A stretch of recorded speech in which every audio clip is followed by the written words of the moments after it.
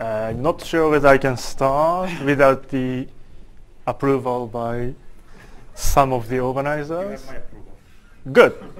Thank you. then let me start my third ah third lecture. So I guess it's okay to start. Um, originally, I was thinking of devoting the third and the fourth lectures of mine to the discussion of the anomalies of finite groups in low dimensions, but it appears that Max Metlitski talked a lot about it in his third and the fourth lectures by looking at looking at the videos. So um, I, I, will talk about the anomalies of finite groups from my perspective uh, later, but I decided to spend a bit more of my talk to the discussion of the anomalies of the fermions. So let me continue the point where I stopped yesterday. So yesterday, we discussed the anomaly cancellations of the heterotic string uh, from the following point of view. Uh, so we considered E8 times E8 where heterotic supergravity or superstring theory. And we noted that the anomaly polynomials cancel, can be made to cancel between the fermions and the B field, right? So very briefly, anomaly polynomial of fermions had the form 2 pi i integral of over some 12 dimensional uh, auxiliary manifolds and some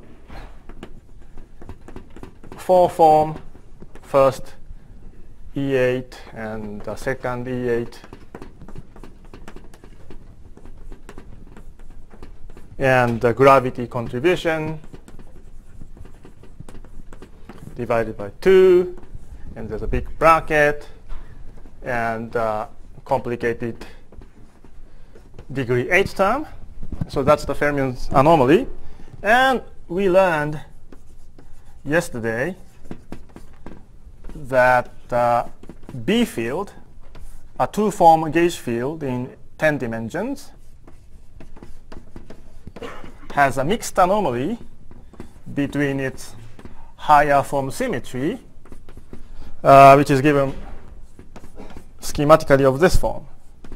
So the background field for the two-form symmetry is x3, and the background field for the six-form symmetry, six-form one U1 symmetry is this y. Right? So we can make them to cancel by declaring that this part is given by this and uh, the other part, this Z8, is this background for the sixth form uh, U1 symmetry. So this is the standard anomaly cancellation, Green-Schwarz anomaly cancellation for the heterotic strings, E8 times E8 heterotic strings, uh, in the following sense. So let me remind you that, uh, yes? Is there a reason you don't mention SO32? Uh, um, yes. Uh, so the question was why I wasn't mentioning SO32. Uh, so up to this point, SO32, or more precisely spin 32 over Z2, works exactly the same way. But what I'm going to talk from now doesn't work uh, as I state, as I will state uh, from various reasons. I will comment on that because you asked, asked me about that. Um, so let, let me remind you what was this anomaly polynomial, right? So why do we need this 12-dimensional thing, which is very high dimensional? The physical space-time of string theory is 10-dimensional. So the problem was that apparently, I mean, before this cancellation, you don't know whether there is an anomaly or not. So to describe the anomaly, uh, one way we learned is to consider 11-dimensional auxiliary uh, space so that at least the value of the partition function of the combined system makes sense, right? But then, well, I already wrote this figure so many times, but the ratio of these two is some function. Uh, I mean, it's the partition function of the anomaly, 11-dimensional anomaly theory evaluated on this 11-dimensional space obtained by combining one W11 and another W11 prime with this orientation reversed. And uh, so now I switch the notation slightly and just refer to this entire 11-dimensional closed manifold as W11. And what this tells you is that uh, you further extend W11 to U12. In this case, if, if there is such a U12, um, you say that uh, this ZA of W11 is given by exponential of 2 pi i U12 of this anomaly polynomial. I mean, that's the definition of the anomaly polynomial of a general QFT. And I just told you that these things vanish, right? Therefore, this is 1.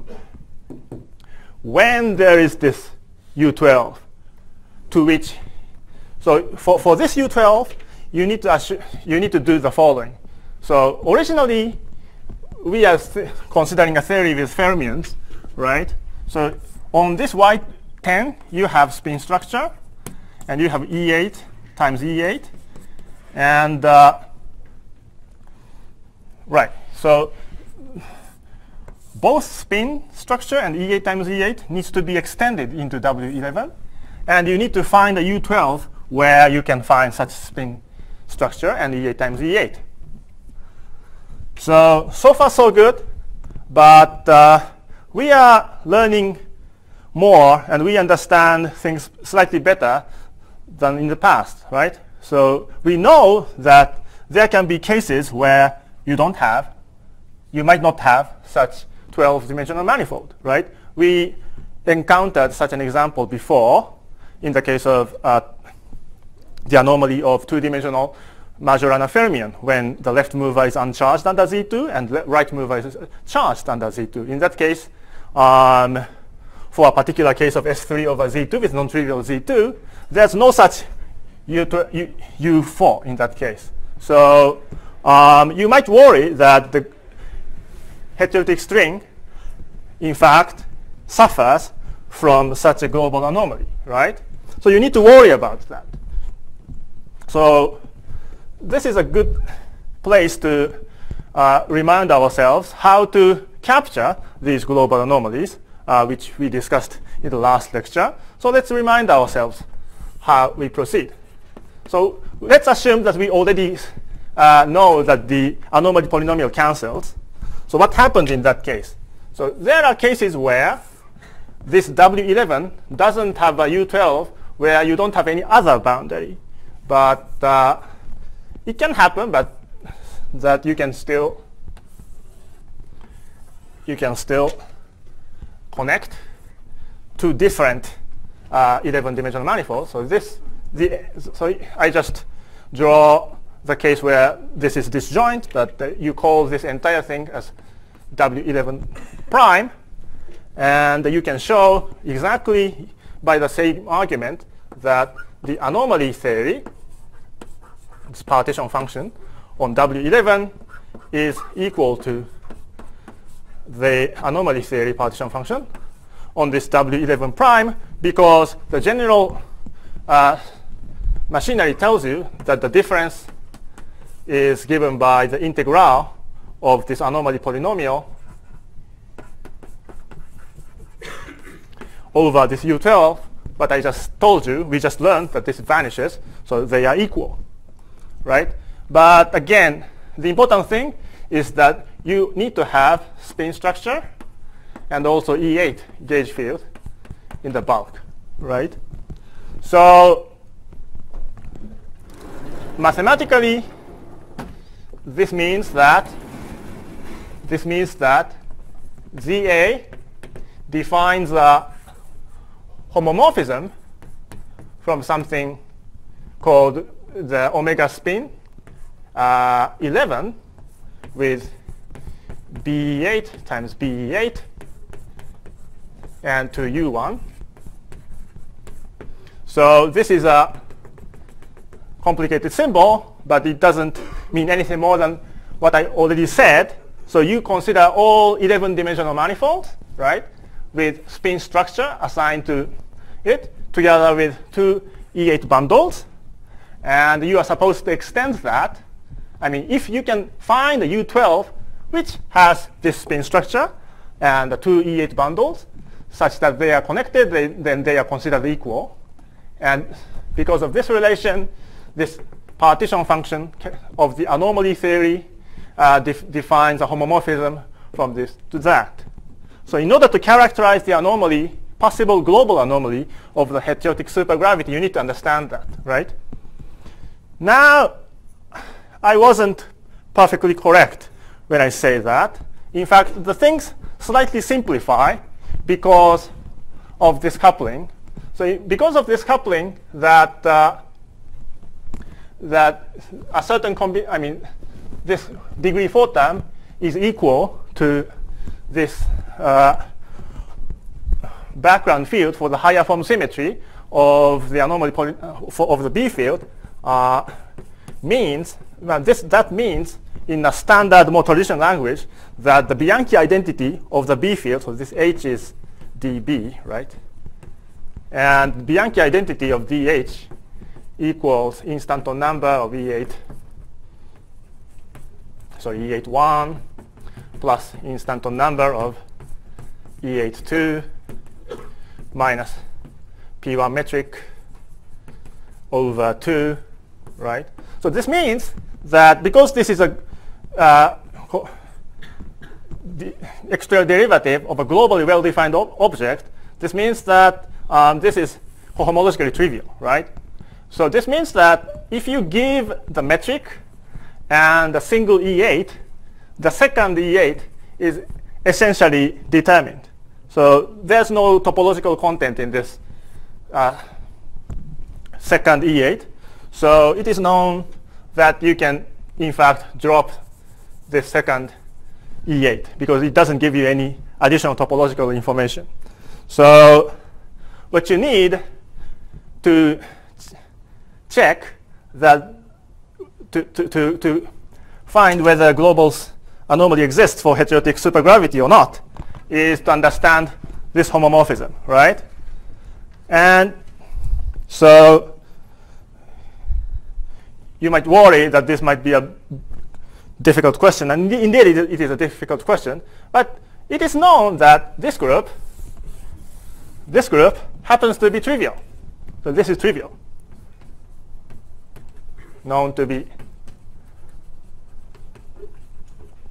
So just because of that, there cannot be any possible global anomaly. So this way, you can say that uh, E8 times E8 heterotic supergravity is free of global anomaly. Um, so now I can answer the question why I didn't mention SO32. Um, if you use SO32 or spin 32 over Z2, you need to use uh, SO spin 32 over Z2, and this group doesn't vanish. And uh, yeah, so then it's extremely more, it's infinitely more subtle. And honestly speaking, I don't understand the vanishing of the global anomaly for the spin 32 over Z2 case. There's a complicated paper by Dan Freed, which I didn't understand. Yes? Ah, uh, the question is why this is this vanishes, right? Um, I don't know. Um, there's a math paper, and I can follow the computation, but that's very difficult, and I, I don't have any physics understanding of that. But let me make a comment on the history. Um, you might wonder exactly when this analysis was done, right? Uh, uh, this was done in, well, I, I- guess you, guys are young, so you, I need to re- remind you that original Green-Schwarz cancellation was found in 84, right? This was done in 86 already. I mean, just two years after that. Uh, it was, of course, done by Witten, and uh, it's in a paper called Topologi- Some Topological Tools in 10 Dimensions. Very modest title. and it's not uh, one of the very well cited papers of Witten. It only has 30 something citations, I just checked before I came here. But it's an amazing paper. I mean, he already understood that the global anomaly is in general characterized by the cobordism group, right, in one higher dimension with this structure. And uh, I guess so he came up to this point just by himself, right? And I guess he had exactly the same question like you. How would you, how would you know that this vanishes, right? But he had, I, I think he asked a mathematician to compute. In fact, that physics paper has an appendix by an algebraic topologist, Stong, who is one of the, I mean, very well-known algebraic topologists, I should say. And he computed this group for Edward, where it was shown to, to vanish. So, so far so good. I mean, the global anomaly of heterotic strings doesn't exist. So that's how it worked. Um, yeah. Your statement for spin 32 mod Z2 is that the corresponding group does not vanish, yet nonetheless there is no global anomaly. Uh, the question was, yeah, yeah, the question was what happens in the case of uh, spin 32 over Z2. Um, my understanding, uh, trying to understand what Dan Danfried says is that uh, if you replace, replace E8 by SO32 over, uh, sorry, spin 32 over Z2, um, this group doesn't vanish and the global anomaly doesn't vanish either you need to consider a rather strange combination of the space-time spin structure and the uh, group, uh, I mean gauge group SO spin 32 over Z2. But the, we believe that there are string theories. Ah, yes, yes, yes, yes, so yes. Still, it works out in some Yeah, in, in, in the end it works out. In the end it works out. Yeah, but Freed says that you need to use K-theory versions of all of the analysis. But yeah, I, I haven't followed it carefully. So, but but string theory exists. I mean, you have T-duality, so definitely the anomaly, global anomaly should vanish. But checking it using this uh, technique is very complicated for the SO32 heterotic string. Yes, do one more thing. yes, please. So BG for general G is very complicated. Right. So like what does BE8 look like? BE8? Yeah. Ah, so one good thing about BE8, which is used both by Witten and uh, Witten and uh, is that it's very simple. I mean, E8 is, in fact, the simplest possible uh, group as far as the topology is concerned. So you can have a look at the list of homo- homotopy groups of various Lie groups, and E8 is extremely simple. I mean, it has pi 3, of course, to account for the instantons, and then there are lots of zeros up to pi 13 or something, if I remember correctly. So because pi pi's are just absent, um, the computation for this thing is becomes extremely simple, and that's why it's useful. Yeah. In fact, uh, you can ask similar questions for the global anomaly cancellation for the M theory, right? Um, so you need to ask what would be the anomalies carried by the gravitino in M theory and also the three-form C field in M theory, right? And uh, in fact, it's very difficult to check that the anomalies vanish. And the easiest way I know to show how it vanishes is to rewrite the M theory. 3 form C as the Chern-Simons invariant, Chern-Simons form of an auxiliary E8 gauge field. And then you use the property of the E8 gauge group to analyze the anomaly. That's what's done by uh, Diaconescu and Moore and Witten. And uh, yeah, so that, so somehow, well, these are a bit technical, but somehow it's useful. Any more questions? Right. Um, so let me discuss another example of anomaly cancellation from a recent paper of mine. Um, so let's discuss type 1 or heterotic SO32. So let's discuss type 1 SO32. Right, one way to say, say the structure of the type 1 theory is that it has O9 minus plane together with 16 D9 branes. Right? So this means that O9 plane has D9 charge minus 16 to cancel the positive D9 charge of these 16 D9 branes. And by using T-dualities, you can compute the charges of other orientifolds. So O8 plane has D8 charge minus 8 because when you T-dualize uh, 9 brane, you get two orientifold 8 planes at the fixed points of the orientifold in action, right? So it's very easy to continue this process. 7, 6, 5, 4, 3. And then correspondingly the charge is minus 4, minus 2, minus 1, minus a half, minus 1 quarter, dot, dot, dot. And you immediately wonder, I mean, I suppose you, uh, many of you learned the basics of string theory. And one of the important things is that the uh, D-branes, charges of the D-brane satisfy the Dirac quantization law. So that requires you to have integer charges for everything, right? So up to this point, it's okay. But now, orientifold 4 plane has one half as the charge, and orientifold 3 plane has minus a quarter as the charge. So the Dirac quantization is violated. Therefore, the string theory is inconsistent. So we can go home right now, right? I mean, it's inconsistent. Um, so this bothered me uh, for a long time since when I first studied string theory using Polchinski's textbooks.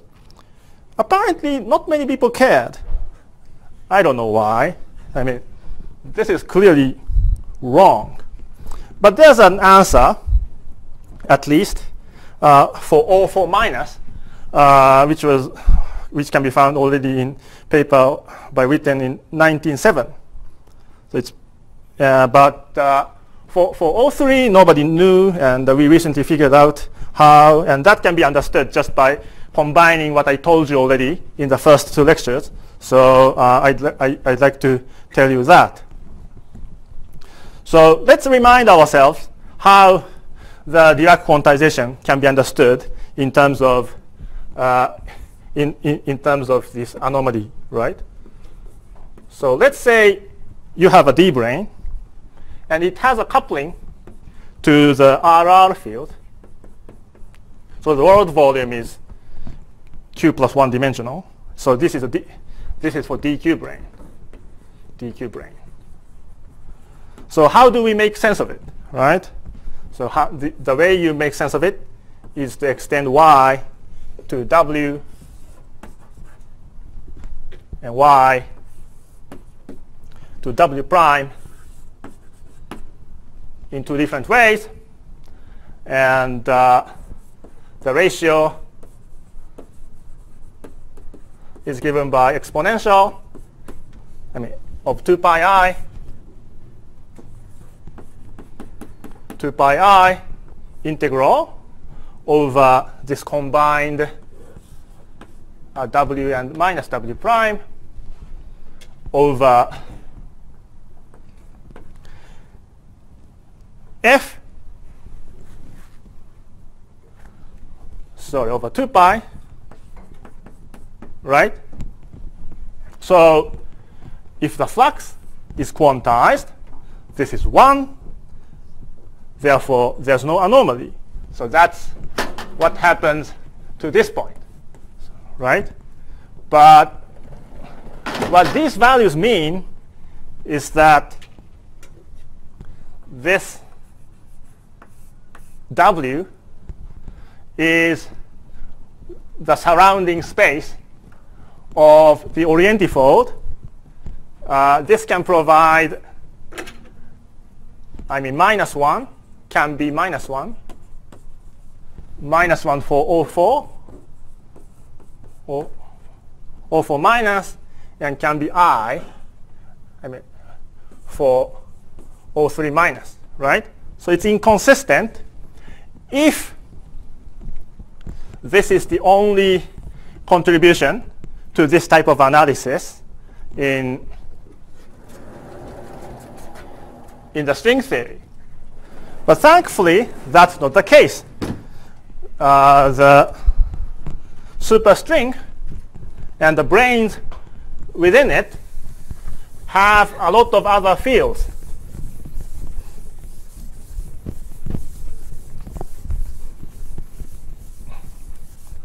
So let's discuss the case of O4. So let's say you can you have some O4 plane, right?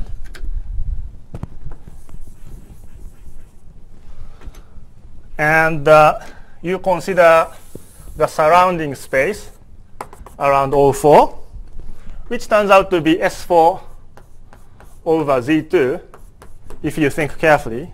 So this is W, right? And uh, so you are considering world volume Y, Y3, I guess, of D2 brane embedded here. But you need to remember that D2 brane has n equals 8 SUSY in 3D, right? And uh, we don't need any SUSY, but you need to know that there are 8 SUSY. This means that there are 8 fer fermions. There are 8 fermions on it.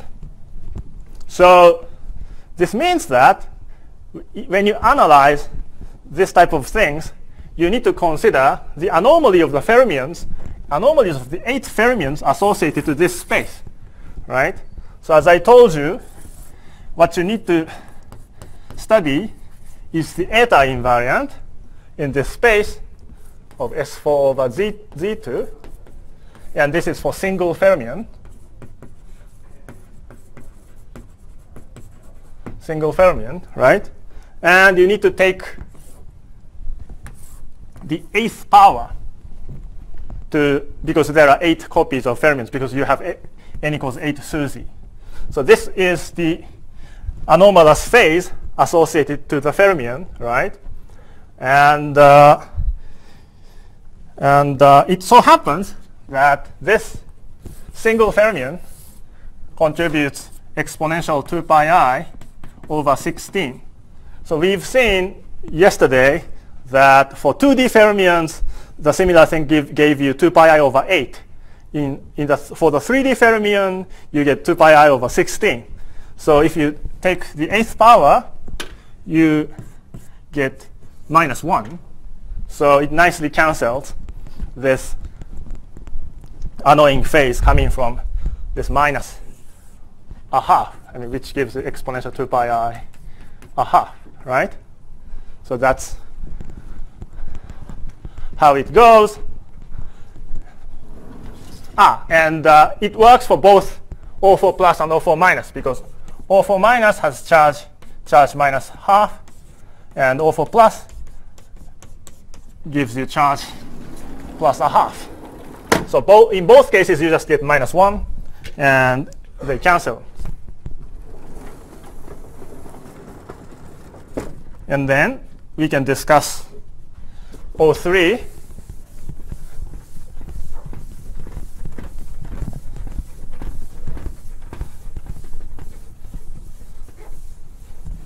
O3 minus, O3 plus minus, right? So it's similar. So you consider a surrounding space around O3, which happen to be S5 over Z2. So this is W.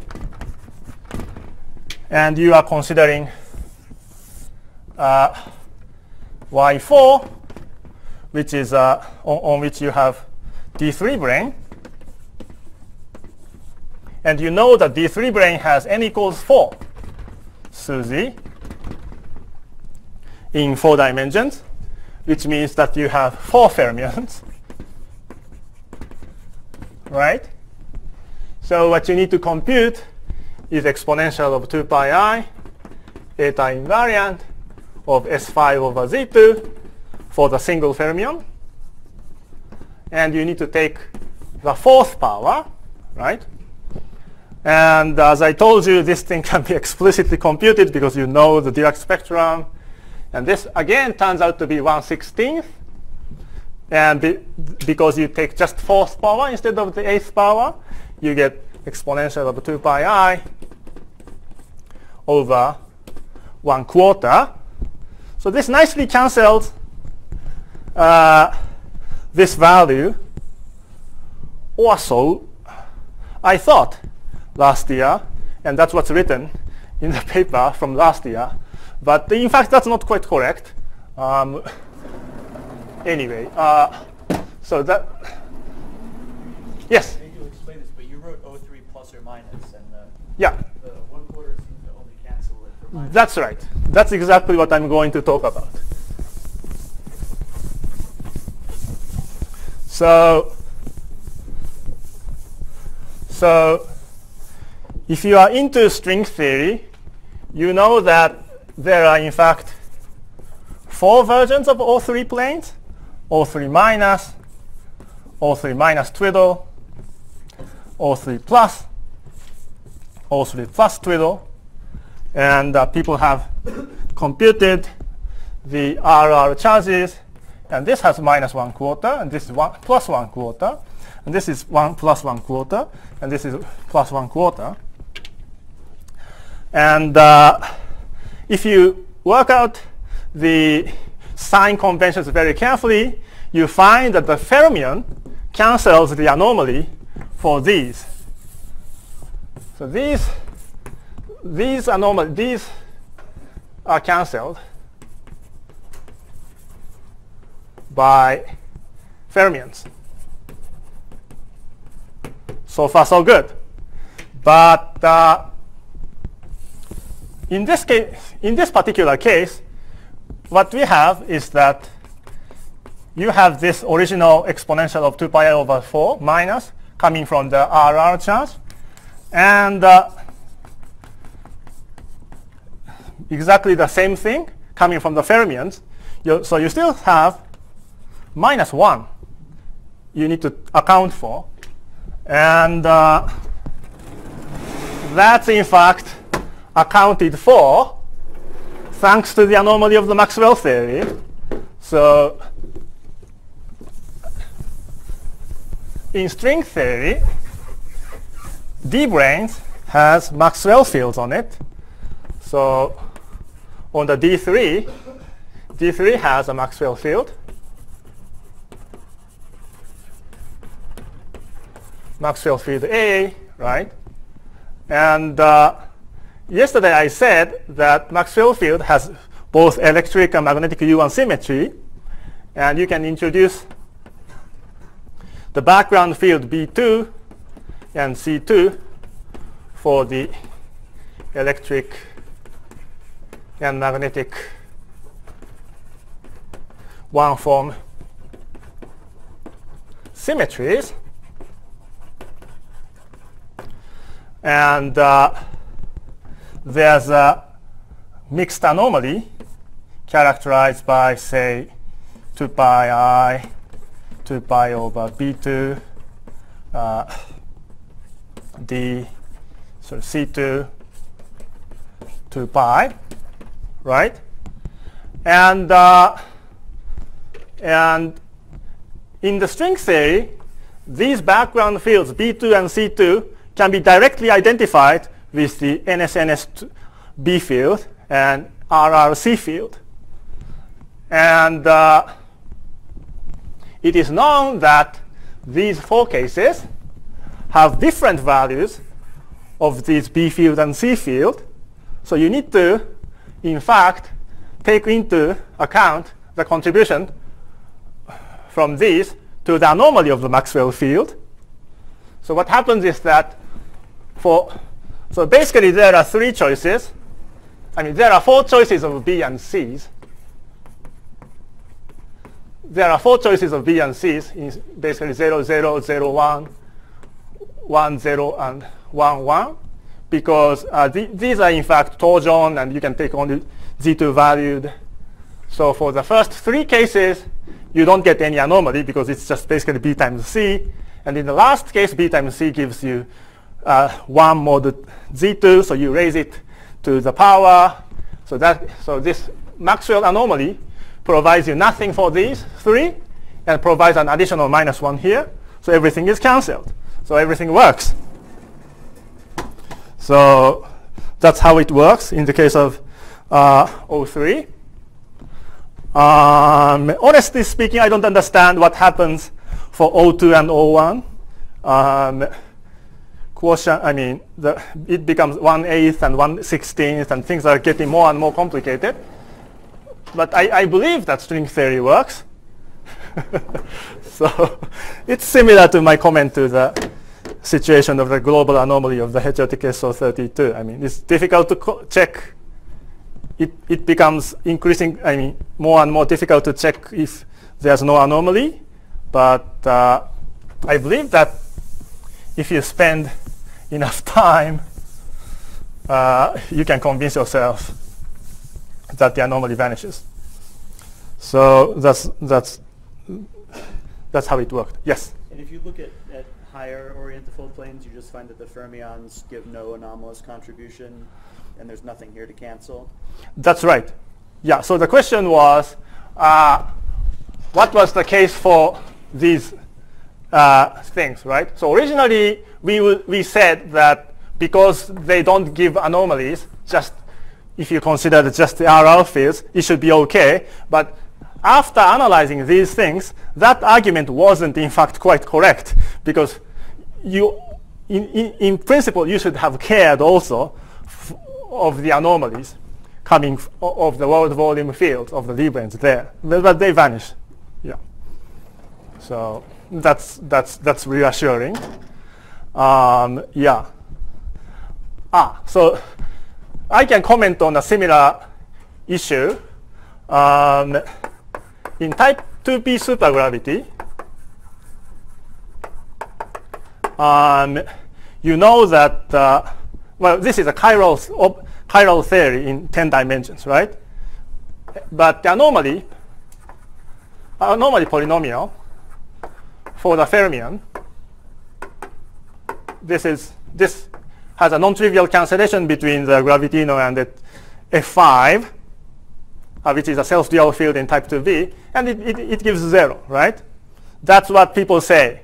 But that's, that's not entirely true, even at the level of anomaly polynomial. I'm not going to talk about global anomaly. This is because F5 is a self-dual field, but it has uh, the Bianchi identity, which is given by H3 wedge G3, right? Here H3 is the RR, I mean, this is the field strength for the B, and this is the field strength for the C. And uh, you see, this is a background field for the uh, four-form U1 symmetry for this F5, right?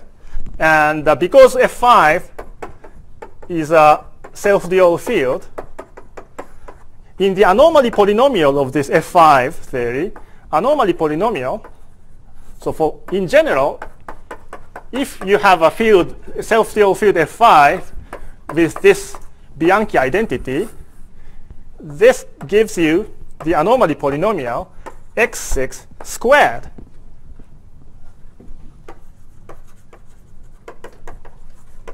And you need to multiply by one half because it's a self-dual field, but you need to be worried about this, right? And uh, this is non-zero. So is it okay? Is, it, is the total anomaly polynomial still vanish?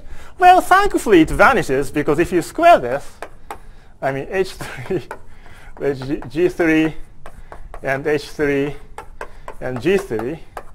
Um, because it's a product of two three forms, if you reorder them, this is zero because it's a square of uh, odd dimensional, odd degree forms. So it's okay. But uh, this is some some piece of uh, anomaly cancellation. It's miss, which is missing from the standard description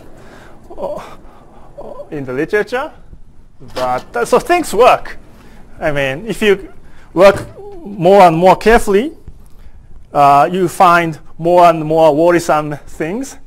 But uh, somehow, eventually, they cancel in string theory. So Seems I, like you're saying every time we found anomaly cancellation in the past, we were just lucky. yeah, yes, I'm, I'm Some effect we didn't think about didn't matter. Right, right, right. so we were lucky, or string theory is magical. I don't know which way is a better way to phrase it. So uh, that's about the anomaly can- subtle anomaly cancellations in string theory. So do you have any additional questions about it? I'm, I'm going to start talking about finite groups. Are you happy with that? Okay. So let us switch gears.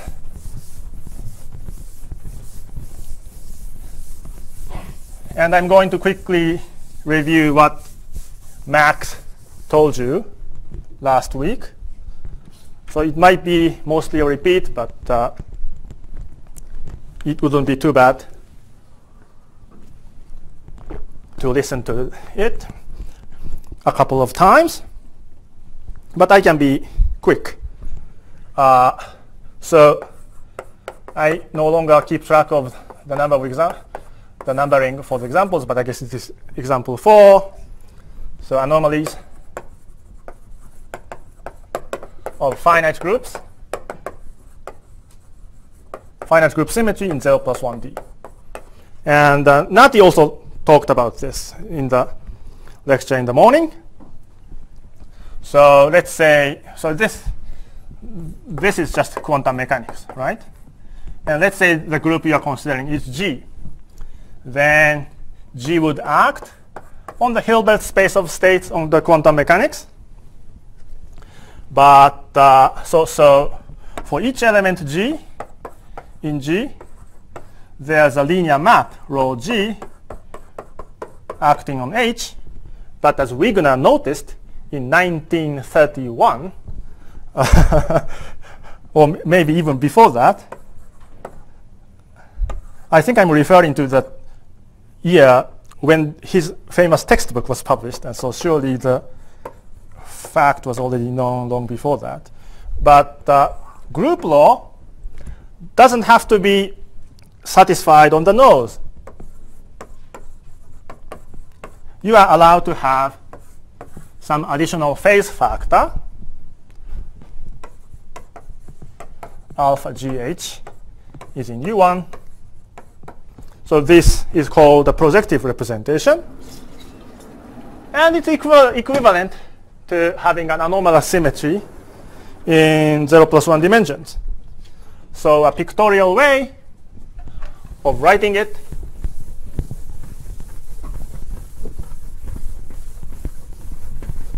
pictorial way of writing it is that uh, you have a 0 plus 1 dimensional space-time and you act on the system by some symmetry operation and you try to combine them but you have some additional phase factor. So I'm just writing the same thing in the pictorial way. And uh, I'm sure Max to told you that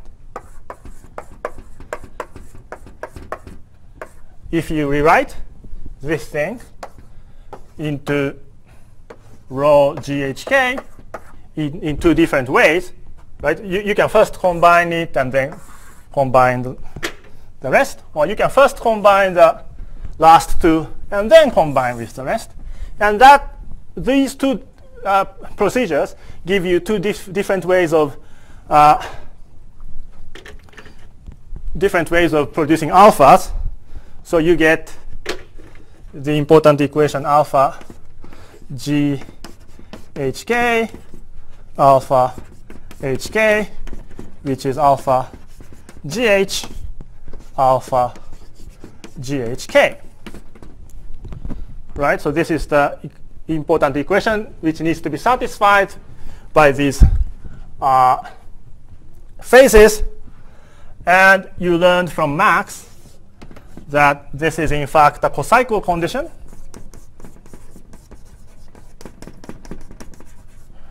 of the something called group cohomology.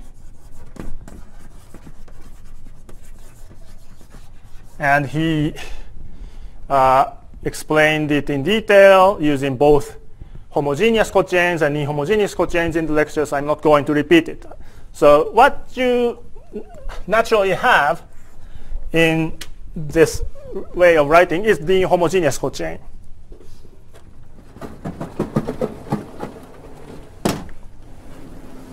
So Right. Uh, where's eraser? So now we would like to understand how this anomaly is cancelled by coupling it to the bulk. So here you have 0 plus 1D system uh, with G symmetry but with an anomaly characterized by alpha, right? And then you attach a certain bulk theory which cancels the anomaly, the boundary anomaly for you. And Max also told you what is this theory. And this is a, an ungauged version, ungauged Dijkgraaf-Witten theory.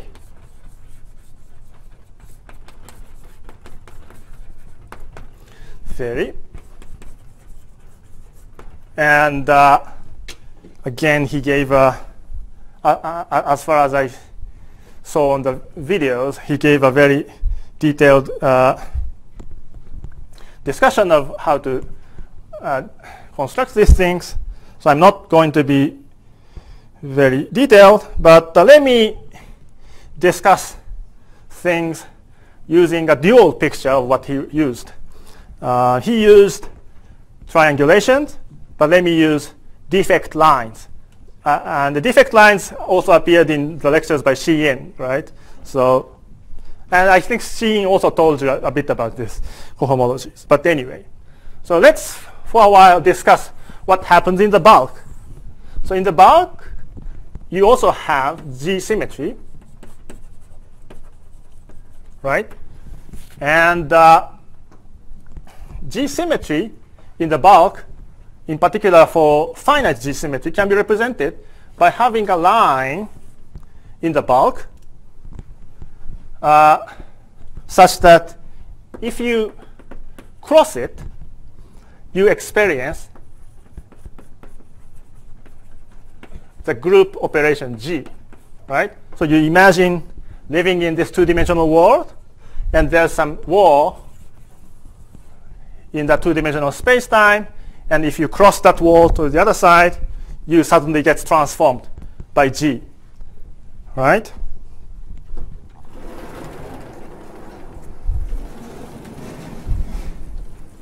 Then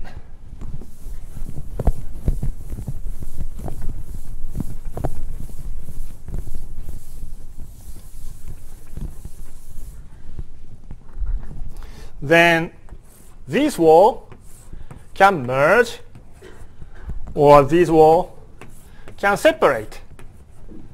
Uh, so if this wall is labeled by H, and this is A, uh, this is G and H, this is GH, and if this is GH, this can split into G and H. So the so the ungauged Dijkgraaf-Witten theory associates a factor so you associate the factor alpha GH to such a junction, and you associate a factor alpha GH inverse to such a junction. Yes, please. So if you have like two of these defect lines, and if you cross them, do you still assume that like you experience some projection? Uh, no, um, here, uh, the question was whether the action is still projective or not in the bulk. Um, so the important thing in this uh, anomaly business and its interpretation as a using one-dimensional higher theory is that you have an anomalous theory on the boundary, but you have non-anomalous theory in the bulk. So you trade this anomaly by having one-dimensional uh, in addition. If you still have an anomaly, you didn't get much, but you just complicated the matter, right? So thank, thank you for the question. So for example, uh, let me just give you an explicit example. Ah, but in this way of writing, this consistency condition arises as follows. So again, this already appeared in Sheehan's lecture and in a dual form appeared, I think, in Max's lecture. So if you have three walls labeled by G and H and K, you can merge it in two different orders, right? And our rule says that you assign alpha, some alpha here and some alpha there, some alpha here and some alpha there. And if you write down this assigning rule to this side on the other side, you exactly reproduce this relation. So, but this might be still a bit abstract. So let me give you the partition function of uh, partition function of a simple 2D theory on a torus. So let's consider a torus. And uh, let's say you put a G background such that if you go around here, you experience G. And if you go around in a different direction, if you go around it vertically, you experience H. So what would be the partition function of the bulk theory in this case? So in order to get the partition function of this bulk theory using this rule, you need to express this particular gauge configuration using the junctions, which isn't too hard. And uh, it's tempting to write junctions here, but it would be very confusing. So let me just write another figures. So let me try to be, yeah, this is, this is something like this. So this point and this point is identified. And you assign lines like this, right? And uh, you assign label G, H, GH, and G. And, sorry, this is H. H, and this is G. And this happens to be GH is equal to HG. I mean, these two cycles are commute, commute within homotopy group. So in particular, HG is uh, equal to GH. Oh, yeah, right? So this is the junction you have. So the rule is that to, uh, you assign a factor of alpha, GH, in this combining junction and you assign an inverse of this factor for the separating junctions. So you assign one factor here and one, assign one factor there. So this is Z. So I should have written this here. So yes, please. It doesn't seem like where it goes off the top is where it comes back on the bottom. I, yeah, I, I, I'm, I'm very sorry about this. Uh, the question is, is, if this figure is correct. Which, uh, the answer is no. uh, th this is identified with and this. Same on the sides. Yeah, I'm, I'm so sorry about this. Yeah. Right. It almost looked like it was a climb out. I, I'm so sorry. Yeah. So, so this point is identified by this, and this point is identified by that. Right. So, so for more general surfaces, it's more complicated, but it's not too complicated. So how does this help in canceling the anomaly? again, this is already discussed by Max, but uh, let me describe it using the junctions. So you have this 0, 0 plus 1D boundary, right? And uh, you have G and H inserted. But now we have a bulk. Now we have a bulk. So this insertions is connected to need to be connected to the defect wall within. So something it needs to be something like this. Again, you have 0D boundary, but now you merge the two defect operators on the boundary. Therefore, oops, it had a terrible sound. now the defect wall just continues to the interior, right? So our rule is that they translate to the action of the respective uh, linear operator on the on the Hilbert space, but because of the relations I wrote there, this gives you an additional factor of alpha gh, right? So that's appearing here. So that doesn't appear on the boundary, but thanks to this rule, that appears at this vertex. So this vertex provides you alpha gh. So thanks to this, uh, the value of the configuration here and the value of the configuration there are the same. So the boundary anomaly is cancelled by the bulk.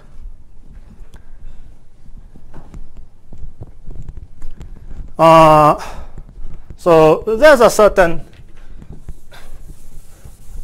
significance of this in string theory, or in more in general, to the uh, gauge theory. So suppose suppose there's a theory, sorry, suppose there's a 2D theory Q which is G symmetric, non-anomalous, right? But then you can consider the this orbifold by G. I mean, this is G gauge theory. I mean, g gauge G. So you can do that. And in particular, the gauge theory or the orbifold on T2 has the partition function that is given by uh, summing over all torus partition functions with uh, the various gauge backgrounds, G and H, right? So this is the formula. But this is not the only possibility. Um, you can also consider first multiplying this 2D theory by ungauged Dijkgraaf-Witten theory specified by alpha. And then you can gauge the entire setup. So that's what you do. And this thing has its partition function, the torus, uh, like this. So you just have basically the same thing.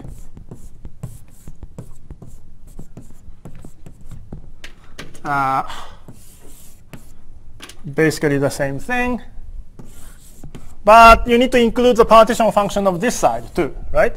And the partition function of that side, I just computed to be alpha gh over alpha hg. So you need to include that factor. So you include alpha gh over alpha hg. So this means that when you orbifold by g, or if you take the gauge, if you ga gauge by g, there are various choices. I mean, you can just perform the sum, but you can also include this phase. So traditionally, this phase is known as the discrete torsion.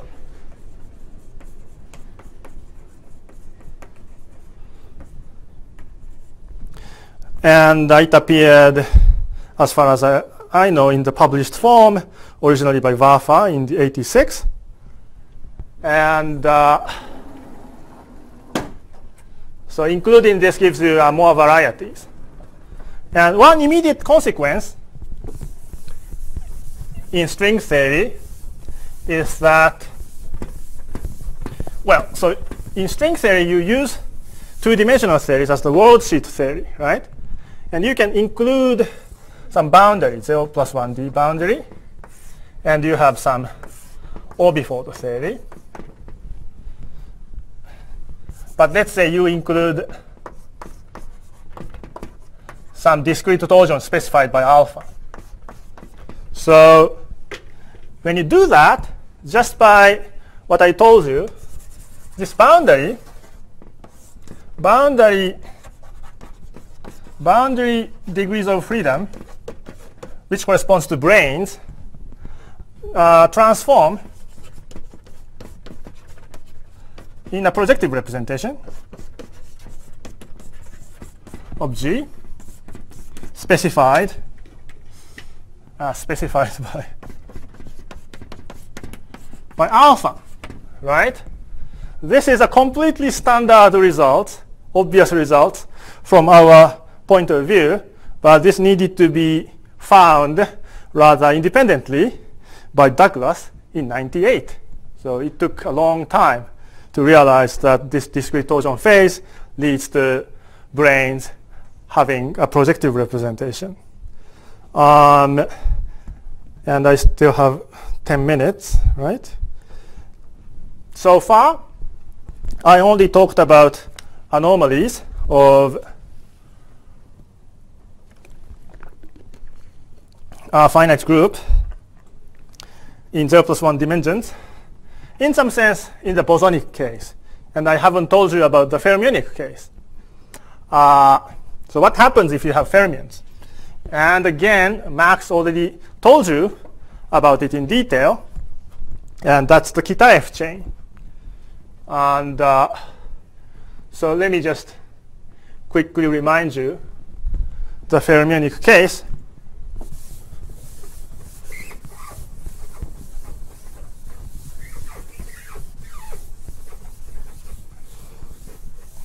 But from a continuous perspective. So let's start already from the two-dimensional perspective.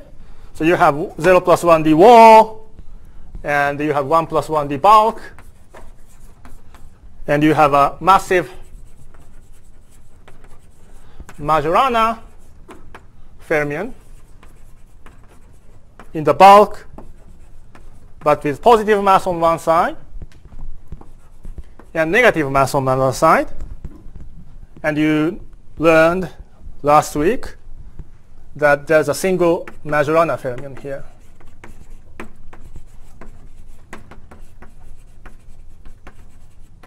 Right? Single Majorana fermion here. And uh, again, I already discussed this situation many times in various spatial dimensionality. So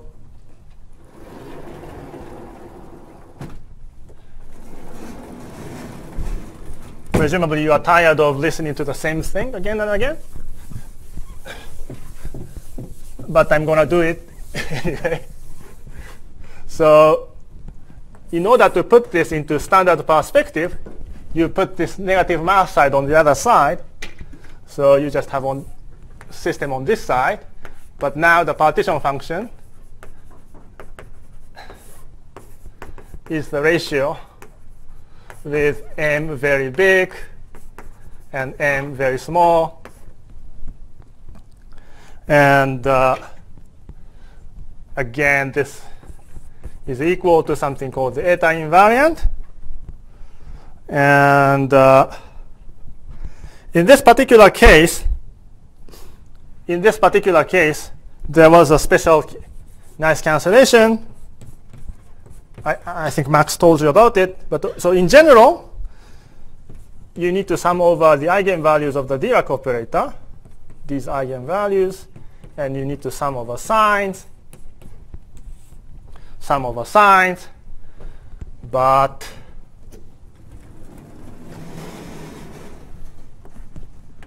sum over signs, but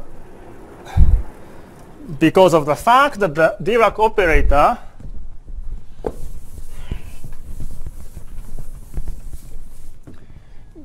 Dirac operator anti-commutes with gamma 0, gamma 1, which is the analog of gamma 5 in four dimensions, I mean anti-commutes. This means that E and minus E, if they are non-zero, come in pairs.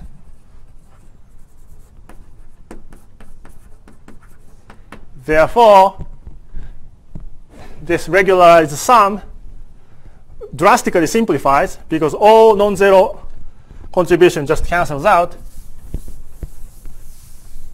So, so this means that 2 pi i eta just receives contributions from the zero modes. And it turns out that this becomes minus 1 to the index of the chiral Dirac operator.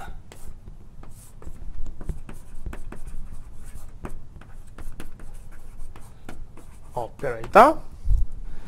And uh, people differ in opinion whether you call this part the Arf invariant or the exponential version as the Arf invariant. But in any case, this is a Z2 invariant, and this is called the Arf invariant. And you learned that uh, on the torus, you have four spin structures I mean, NS, R, NSNS, NSR, uh, RNS, RR. And it's very easy to see that you don't have any zero modes for the three cases because they are anti-periodic. And when both are periodic, you have one zero modes. Therefore, this exponentiated Arf invariant is plus one, plus one, plus one, and minus one, right? So that's the uh, that's the value. So what's the significance in string theory? Well, this was pointed out in a paper by Nati Seiberg and Edward Witten from 1986 uh, with the title Spin Structures in String Theory, if I remember correctly.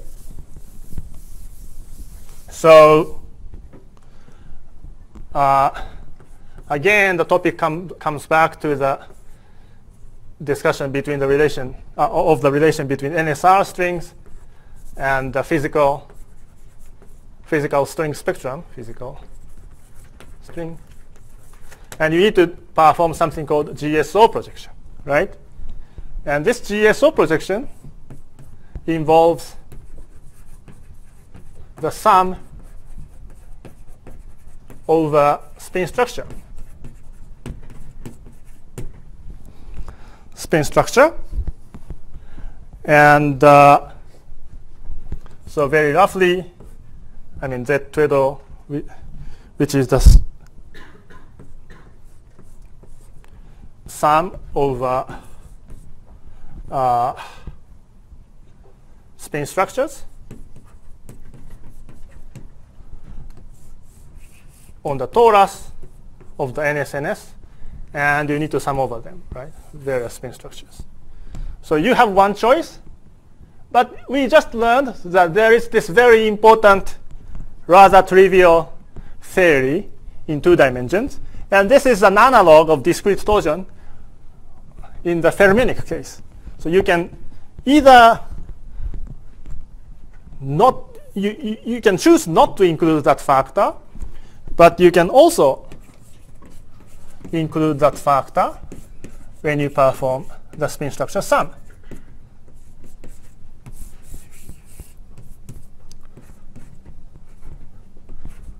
Uh, right. So you do this, and uh, you include this minus 1 to the index d factor or maybe Arf invariant itself. So you can, there are two choices, right? What are these two choices? So these two choices are known as, these two choices correspond to a subtle difference between type A projection and type B projections. If you perform spin sums for both the left movers and the right movers, they correspond to the difference between the type 2A and type 2B. So you, you now understand where that subtle difference in the phases come from. Um, yeah. Another thing I can mention in the remaining three minutes is the following. So you, you learn that if you perform T-duality along one direction, type A is converted to type B, and if you do that twice, it comes back to itself, right? How do you see that from this point of view? That can be easily seen by going back to the definition of this Arf invariant. This, this eventually became the Arf index, the Arf invariant, right? Um, so the 2D free fermion system is in fact simple enough that this equality holds without taking the infinite m limit. I mean, it, it, just so happens that this is this holds. Um, so I'm sorry for overwriting over the previous blackboard. Um, this is something you cannot do on a traditional notebook. If you have a tablet, I think you can copy the previous equation and uh, overwrite it. But uh, so let, let me let me write it again. So another way of writing it is that fermion partition function at value m minus m is related to the fermion function partition function at plus m times this Arf invariant. My, I mean, my, my notation isn't very consistent, but, this is what you have. And uh, this is even true, still true, still true when m is 0. Right? So this is true even for massless fields. Um, you might wonder, how can it be true? I mean, both sides are the same and you have minus 1 when the Arf invariant is non-trivial. It, it just means that for massless case, I mean, if you have fermion zero mode, I mean, the partition function without the insertion of the fermion zero mode, it's just zero, so it's consistent. But the point is, if you, so this means that if you flip, if you flip m, you get, you get Arf, right? But uh, you need to remember that the T-duality in CFT is a reflection of just the left mover, right? So in the bosonic case, if you have a compactified boson, T-duality is in some sense come from I'm separating the single boson into the left mover and the right mover and just reflecting the left mover. So you need to do that in a supersymmetric way. Therefore, in the supersymmetric uh, T-duality, you have X and associated Majorana fermion in the left moving side and on the right moving side. And in the T-duality, you need to perform the flip of the fermion too, right? Therefore, when you perform T-duality in superstring theory, what happens is that in the process, you need to flip one Majorana fermion. And uh, that corresponds to this flip of the mass term. Ah, so I, I think I forgot to say one thing. I mean, the mass term is very roughly of this form, right? So if you just flip one side, you flip the mass term. Therefore, uh, you generate this term. This means that um, if this spin sum corresponds to the type A GSO projection, then if you perform the T-duality, just by performing the T-duality, you generate this additional phase factor of the Arf invariant, and that becomes the type 2B uh, GSO projection. So that's how the T-duality is related. and generates uh, the difference between type A and type B GSO projection. So uh, that's about it for today. So thank you very much.